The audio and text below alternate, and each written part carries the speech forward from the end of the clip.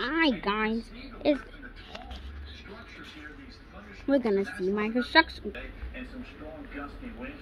Okay, well, I'm gonna show you what it does. Back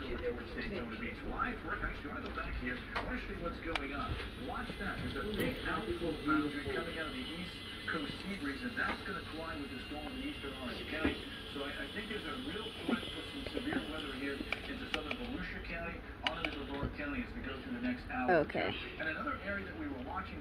Altoona. Okay, let's. And turn. Oh, it's dark. Okay, I know. Like that way. As a matter of fact, I don't even like um. Let's stop it right there. Anywhere from about 20 to as fast as 40 miles an hour. So these are fairly quick moving. Edgewater, Deltona, we're going to be watching these here for you.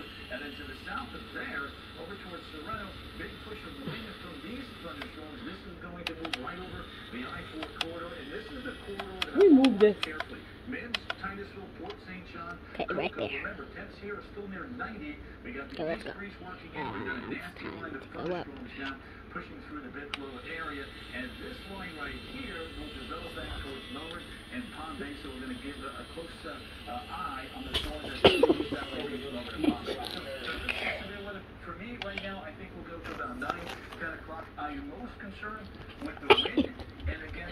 Stop that, Mama. Okay, sorry. Oh.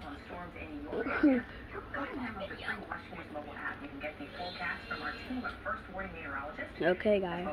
Let's see back now. What my construction does.